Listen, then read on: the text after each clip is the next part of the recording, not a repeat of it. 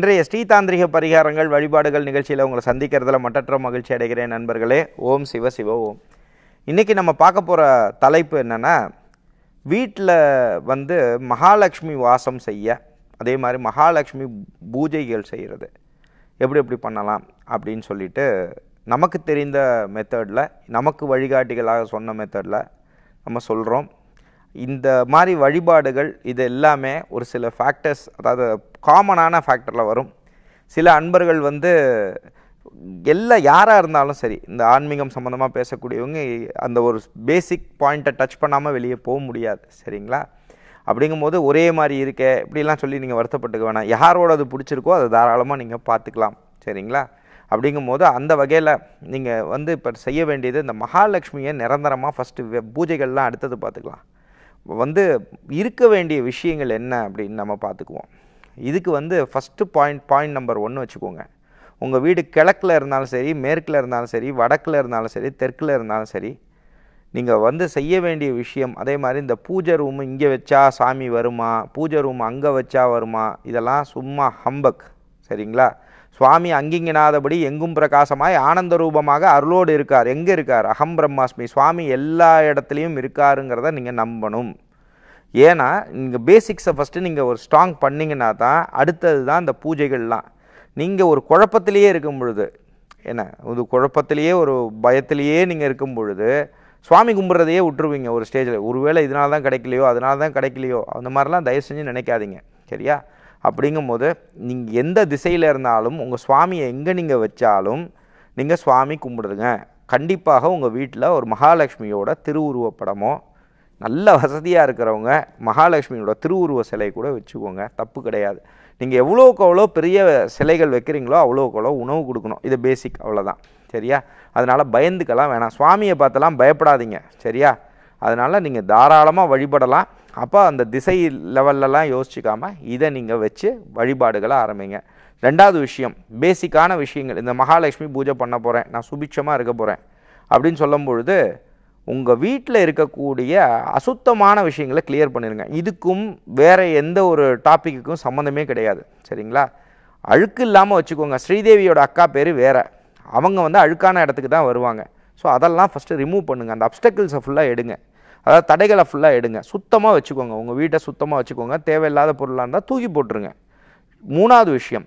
உங் குறிப்பாக உங்களுடைய ரெஸ்ட் ரூம் இந்த மாதிரி ஏரியாவை ரொம்ப சுத்தமாக வச்சுக்கோங்க. நாலாவது விஷயம்.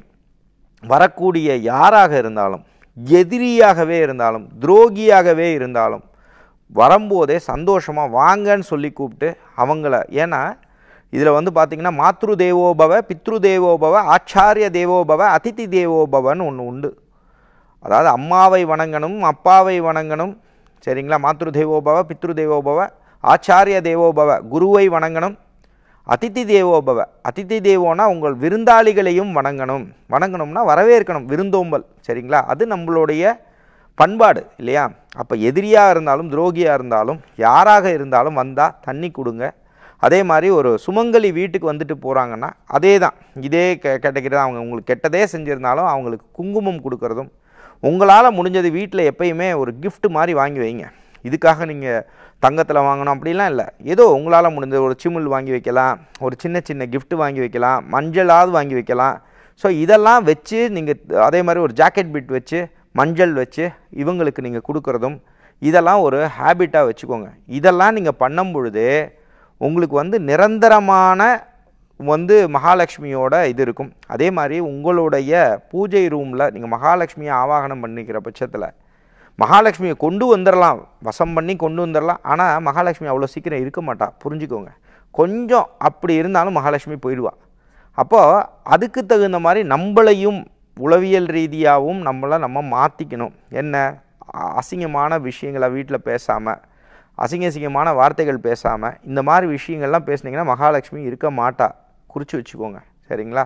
நம்ம என்னதான் நீங்கள் இந்த திசையை பார்த்து வச்சாலும் என்னதான் பண்ணாலும் என்னதான் பூஜைகள் பண்ணாலும் அந்த மாதிரி பண்ணினால் தெய்வம் அந்த மாதிரி சாந்த தெய்வங்கள்லாம் வெளியே போயிடும். அப்போ மகாலட்சுமி போனால் என்ன நடக்கும்ன்றதை பார்த்துக்கோங்க. ஸோ அந்த மாதிரி விஷயங்களையும் வீட்டில் மேக்ஸிமம் அதை அவாய்ட் பண்ணுங்கள் அப்படி வீட்டில் சண்டையாக இருக்குன்னா நம்மளே ஏகப்பட்ட பதிவுகள் போட்டிருக்கோம். வீட்டில் சண்டை வராமல் இருக்க என்ன பண்ணணும் செய்யணும். அந்த வழிபாடுகளும் செஞ்சுக்கோங்க. அது படிப்படியாக விலகும். அந்த வழிபாடுகளையும் செஞ்சுட்டு அதே மாதிரி மனம் கமழக்கூடிய விஷயங்களை வீட்டில் வச்சுட்டே வாங்க. ஒரு உதாரணத்துக்கு நல்ல ஒரு நேச்சுரல் இன்சென்ஸ் நேச்சுரல் இன்சென்ஸ்னால் ஒரு இயற்கை மனம் வரக்கூடிய ஊதுபத்திகளோ இந்த மாதிரி விஷயங்களும். அதே மாதிரி மணி அடிக்கிற பழக்கங்கள். மணி அடிக்கிற பழக்கம்னா வெங்கல மணி அடித்ததுக்கான காரணம் என்னென்னா இந்த வைப்ரேஷன் இதெல்லாம் இங்கிருந்து போன கலை தான் இன்றைக்கி சைனாக்காரங்க வந்து இந்த பெல்லை வச்சு ட்ருன் ட்ருன்னு சவுண்டு கொடுத்துட்டு உட்காந்துருக்காங்க புரிஞ்சுக்கணும். இந்த மணி அடிக்கிறதெல்லாம் நம்மளோட பழக்கங்க. நம்ம சூடம் காட்டும் போது மணி அடித்து தான் பண்ணுவோம். அதனால டெய்லி சுவாமி கும்பிடும்போது மணி அடித்து சுவாமி கும்பிடுற பழக்கங்களை உருவாக்குறதும் இந்த மணி சப்தங்களும் நல்ல சப்தங்களும் வரும்பொழுது மகாலட்சுமி நிரந்தரமாக வாசம் செய்வாளுங்கிறது ஒரு வகையான தன்மை. மலர்கள் நல்ல மனம் வரக்கூடிய மலர்கள் இந்த மாதிரி விஷயங்களும் ஸ்வீட் நிறைய சுவாமிக்கு வைக்கக்கூடிய தன்மைகளும் நல்லபடியாக இருக்கும். அதே மாதிரி இப்போ பூஜைகளுக்குள்ளே வருவோம். இது பேசிக்ஸ் ஃபண்டமெண்டலாக ரெடி பண்ணிவிட்டு பூஜைக்குள்ளே போங்க. அப்போது இந்த பூஜைகளுக்கு போகும்போது நீங்கள் என்ன செஞ்சுக்கலாம் அப்படின்னா இந்த மகாலட்சுமிக்கு பண்ணுறது வெள்ளிக்கிழமைகளில் பண்ணிக்கிறது விசேஷ பலனை கொடுக்கும். அதே மாதிரி தீபாவளிக்கு மறுநாள் பண்ணக்கூடிய காலங்கள்லேயும் நீங்கள் தாராளமாக பண்ணலாம். அதே மாதிரி நீங்கள் பிறந்த நாளில் நீங்கள் பண்ணக்கூடியது அதாவது சனிக்கிழமையிலேருந்து ஞாயிற்றுக்கிழமைக்குள்ளே ஏதோ ஒரு நாளில் தான் நீங்கள் பிறந்திருப்பீங்க.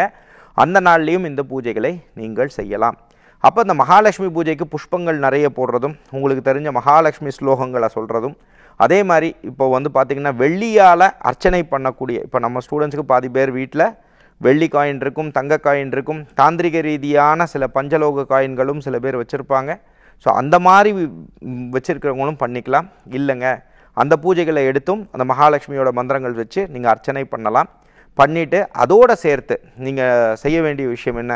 இல்லை எனக்கு வந்து அந்த தங்க காயினோ வெள்ளி காயினோ இந்த மாதிரி விஷயங்கள்லாம் இல்லைங்க பஞ்சலோக காயினில் என்னங்க பண்ணலாம்? ஒரு ரூபா காயின் எடுத்து வச்சுக்கலாம். அதை நல்லா கல் உப்பை எடுத்து நல்லா கலந்துட்டு அதை தனியாக கழுவி வச்சுக்கலாம். அதுக்குன்னு தனியாக ஒரு பாக்ஸ் வச்சுக்கோங்க. அதை வந்து நீங்கள் என்ன பண்ணுங்கன்னா மகாலட்சுமியை மனசார நினச்சிட்டு கோலம் இட்டு அதை சுவாமியை மனசார நினச்சிட்டு மகாலட்சுமி மந்திரங்கள்லாம் நிறைய இருக்குது இல்லை உங்களுக்கு ஏதாவது மகாலட்சுமி மந்திரங்கள் வேணும்னு ஆசைப்பட்டீங்கன்னாலும் தாராளமாக என்னை கேளுங்க வாட்ஸ்அப்பில். உடனே என்கிட்ட எதிர்பார்க்காதீங்க. நீங்கள் மெசேஜ் அனுப்பிச்சிட்டு எனக்கு பத்து நிமிஷத்தில் வரலங்கன்னு உடனே கமெண்ட் பாக்ஸில் பாருங்கள் அனுப்பிச்சு பத்து நிமிஷம் ஆச்சு அப்படின்னா நானே தாங்க எல்லா ஒர்க்கும் உங்களுக்காக பண்ணுறேன் அப்படிங்கும் போது எனக்கு எங்களோட ஸ்டாஃப்க்கு சொல்லி கொடுத்து நான் புரிய வச்சு உங்களுக்கு கொண்டு வர்றது கஷ்டம் எனக்கு. புரிஞ்சுக்கோங்க. அதனால் உங்கள்கிட்ட வரும்போது எனக்கு கொஞ்சம் லேட் ஆகும். இப்போ நீங்கள் எனக்கு அனுப்பிச்சிங்கன்னா உடனே எல்லாம் என்கிட்ட எதிர்பார்க்காதீங்க கிடைக்காது.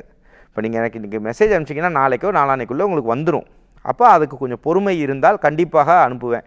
அப்போ நீங்கள் என்ன பண்ணுங்க அப்படின்னா அந்த மகாலட்சுமி மந்திரங்களுக்கு பண்ணும் பொழுதும் அதை அர்ச்சனையாக நீங்கள் எடுத்து பண்ணிகிட்டே வந்துட்டு அதை தனியாக எடுத்து வச்சுட்டு இதை நீங்கள் தொடர்ந்து செஞ்சுட்டே வாங்க. இதை நீங்கள் செய்ய செய்ய செய்ய செய்ய உங்களுக்கு தெரியாத விஷயமா மகாலட்சுமி உங்கள் வீட்டுக்குள்ளே வரும்பொழுது என்னெல்லாம் கிடைக்குமோ அது அதே மாதிரி இன்னொரு ஒரு விஷயம் இருக்குங்க. சில பேர் நினச்சிக்கிறாங்க மகாலட்சுமி வந்து சாந்த தெய்வம். மகாலட்சுமிக்கு கோபமே வராது அப்படி கிடையவே கிடையாது. ஆக்சுவலாக மகாலட்சுமி சாந்த தெய்வம் தான். ஆனால் அவங்களுக்கு இருக்கக்கூடிய பூத கணங்கள் சரிங்களா? அந்த பூத கணங்கள் ரொம்ப உக்ர கணங்கள் அதை புரிஞ்சுக்கணும் சரிங்களா? அதே மாதிரி காளி தேவியை பார்த்து எல்லாம் பயப்படுவாங்க. ஆனால் ஆக்சுவலாக காளி தேவி கிட்ட பார்த்தீங்கன்னா எந்த ஒரு உக்ர தேவதாவும் கூடயே இருக்காது. காரணம் என்னென்னா காளி தேவதா வந்து ஒரு ஸ்வரூபம் வேறு மகாலட்சுமிக்கு ட்ரெஷர் ட்ரெஷர் காட் சரிங்களா? அதாவது நிறைய சொ இது இருக்கிறதுனால அந்த உபதெய்வங்கள் அந்த மாதிரி தெய்வங்கள்லாம் உண்டு. அப்போது இந்த மகாலட்சுமி பூஜைகள் பண்ணி நல்ல செல்வ செழிப்பாக வந்ததுக்கப்புறமா நீங்கள் வந்து செய்ய வேண்டிய விஷயங்கள் என்ன அப்படின்னு பார்த்தீங்கன்னா நிறைய முடியாதவர்களுக்கு நிறைய பண்ணுங்க.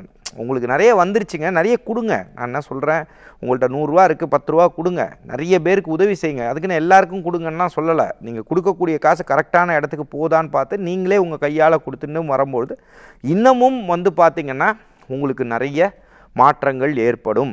அதோடு சேர்த்து நீங்கள் இந்த மகாலட்சுமியோட பண்ணும்போது அதில் குபேரரோட இது இருந்தாலும் சிலை இருந்தால் குபேரன்னா சொன்னால் அந்த சைனா பொம்மையெல்லாம் குபேர பொம்மையெல்லாம் கிடையாது. அது சில பேர் அப்படிலாம் நினச்சிக்கிறீங்க அது கிடையாது. குபேரரோட உண்மையான திருவுருவப்படம் வேணும்னு கேட்குறவங்க என்னை கேளுங்க நான் தரேன்.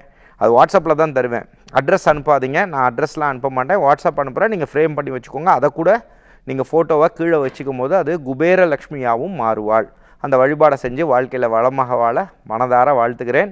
நாளை மற்றும் ஒரு வழிபாடுகளுடன் உங்களை சந்திக்கும் வரை உங்களிடமிருந்து வணக்கம் கூறி விடைபெறுவது உங்கள் விஜய் சேத்து நாராயணன் நன்றி வணக்கம். ஓம் சிவ சிவ ஓம்